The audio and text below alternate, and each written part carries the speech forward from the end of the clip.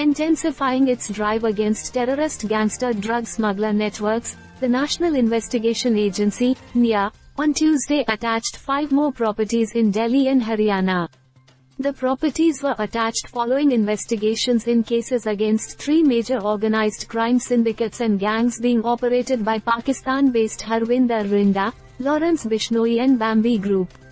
Of the five properties, four are in Haryana and one in Delhi owned by members of organized crime syndicates operating in the northern states of Punjab, Haryana, Rajasthan and Delhi.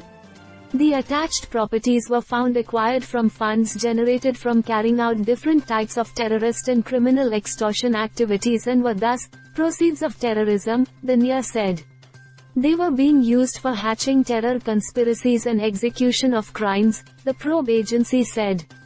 The properties attached in action by NIA earlier in the day include the houses of Chotu Ram at Chautala in Sirsa district in Haryana, Jagsir Singh at Takatmal in Sirsa district, Virender Singh in Yamunanagar district in Haryana, and lands of Raju at Basodi in Sonipat district in Haryana and Satyavan Seherawat at Daryapur in Delhi.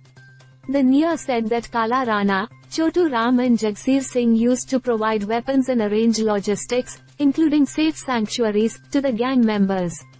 Satyavan and Raju had also harbored gangsters. They had a major role to play in the generation of funds to support the operations of terror crime syndicates. Raju had laundered the money by investing the proceeds of terrorism in real estate business and other businesses, including liquor. The NIA has claimed that their action has hit the weapon supply chain of the gangsters.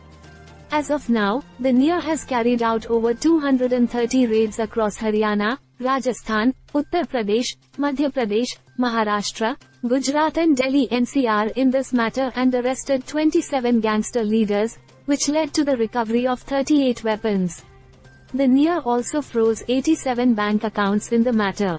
In addition, Canada-based Arsh Dalla and Pakistan-based Harvinder Rinda have been listed as terrorists by the MHA under UAPA in the recent past.